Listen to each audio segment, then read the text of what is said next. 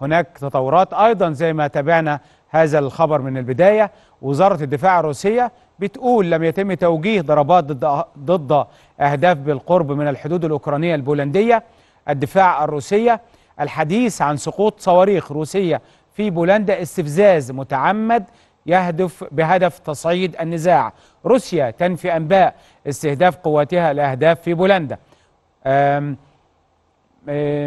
زيلينسكي بيقول الضربات الروسية الجديدة صفعة لقمة العشرين. إذا روسيا بتنفي أنها وجهت ضربات لأي مواقع بالقرب من الحدود البولندية وبتقول إن ده في في استفزاز متعمد وهدفه تصعيد النزاع. ده على لسان وزارة الدفاع الروسية. هنتابع هذا التطور لأن التطور ده يعني يعني عامل ردود أفعال كبيرة دولية كبيرة وممكن يكون ردود أفعال كمان على الأرض.